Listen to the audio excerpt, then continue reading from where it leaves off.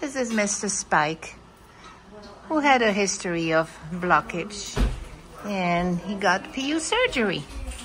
And he's as good as new. Yeah, he'll have to be on a special diet though for the rest of his life, like my cat, who had the same type of surgery for the same kind of problem.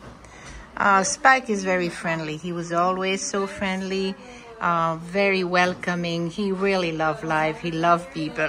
He's just a fun cat to be with. Such a good baby. He comes in the arms. Uh, he he kisses. Uh, he's easygoing. He's the best patient ever, and he's ready to fall off his his kennel, which we don't want to, right? So uh, this is uh, our beautiful Mike here at the Manhattan Care Center.